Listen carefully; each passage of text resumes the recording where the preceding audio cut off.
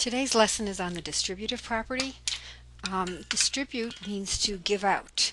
So for example, if we have 4 times the quantity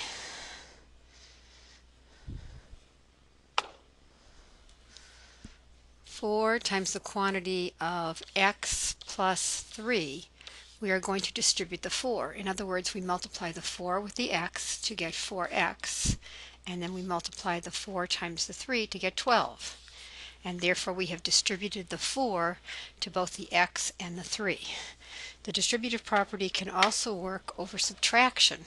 If we have 3 times the quantity of x minus 1, when we distribute the 3 it becomes 3x minus 3. And that is the distributive property over multiplication, over addition and subtraction.